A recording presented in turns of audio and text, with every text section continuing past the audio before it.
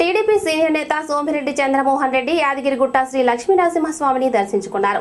రాష్ట్ర ప్రభుత్వం భవిష్యత్తు అవినీతి కుంభకోణాల్లో ఇరుక్కుందని ఆయన ఆరోపించారు. ప్రత్యేక తెలంగాణపై స్పందించిన ఆయన అదంతా కేంద్ర చేతిలో ఉందన్నారు. మూడు ప్రాంతాల ప్రజల మనసును నొప్పించకుండా తెలుగువారి ఆత్మగౌరవం దెబ్బతినకుండా రాష్ట్ర ప్రజల భవిష్యత్తును కాపాడాడని ఆయన అన్నారు.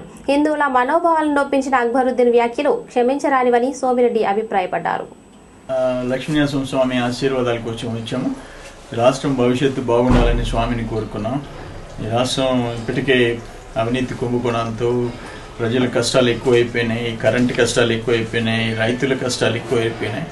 వీటన్ని నేను తీర్చగలిగిన శక్తి ఉండే నాయకుడిని స్వామివారు ఆశీర్వదించాలని కోరుకున్నాను పార్టీ మొదటి నుంచి పార్టీ వల్ల ఒక స్టేజ్కి వచ్చిన నాయకులనండి కార్యకర్తలనండి నిష్కారణంగా వేరే పార్టీకి వెళ్ళిపోవటం తప్పు.